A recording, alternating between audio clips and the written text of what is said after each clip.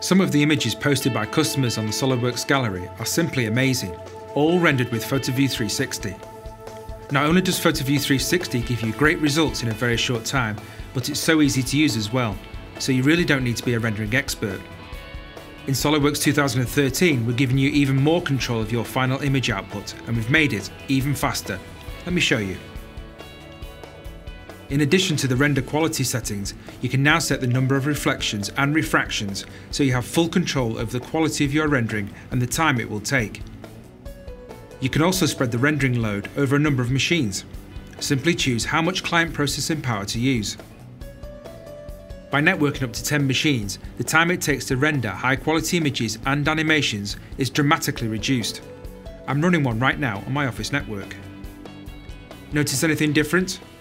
The blue squares are the network machines at work speeding up your rendering time. Along with performance enhancements, we've also improved the post-processing of the rendered image.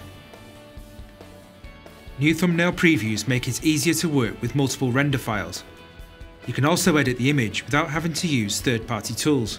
You can apply colour correction and even add a bloom effect, and you can see the results of your edits immediately.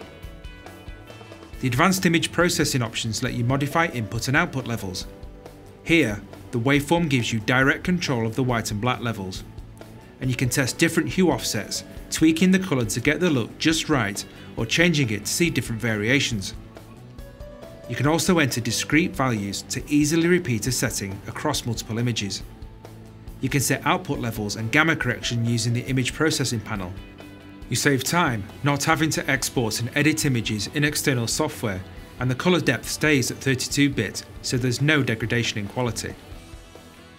After your changes you may want to see how it compares to the original or compare several images you've created. The wipe tool shows you how the image has changed or by using the spotlight you can focus on certain areas. PhotoView 360 in SOLIDWORKS 2013 dramatically reduces rendering time and gives you some great new editing tools so you can create photorealistic images of the highest quality.